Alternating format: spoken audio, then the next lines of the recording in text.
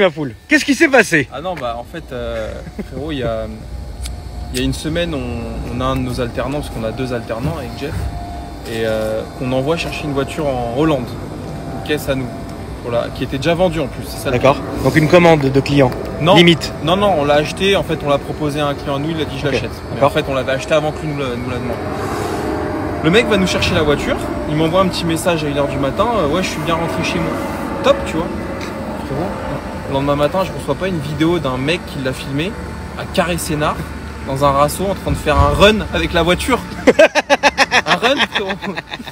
Et euh, bon, bah, je l'ai viré, tout simplement. Le Voilà. lendemain, je l'ai viré. C'était la petite histoire de. Donc ça, c'était avant ou après le cambrio Euh, après, en plus, tu en, Ah, en plus, il a même pas eu la pitié de se dire ça. attends, mon patron, enfin mes, deux patrons, ils traversent une époque de merde. C'est ça. Quoi de mieux d'aller au run avec la bagnole du garage? C'est exactement La bagnole ça. client en plus. Et, euh, et en plus, Vas-y, dis-moi. non, et puis ce qui est extraordinaire là-dedans, frérot, c'est que le mec il vient le matin, je lui dis écoute, euh, t'as pas un truc à me dire et tout. Il me dit non, non, je suis allé dîner avec ma copine euh, à 1h30 du matin. Ouais. Bon, S'il te plaît, je vais te reposer la question, réfléchis bien avant de me répondre.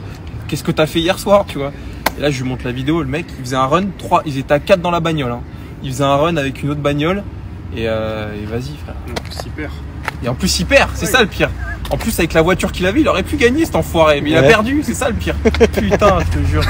J'avais le sam, Incroyable. je l'ai viré. Euh, ouais, bah écoute, euh, merci à toi de m'avoir reçu, ma Ah, merci frérot, merci. Euh, force à toi comme d'habitude. Oui, je vais kiffer, ça c'est clair. Et la famille vidéo de la nouvelle voiture demain à 18h.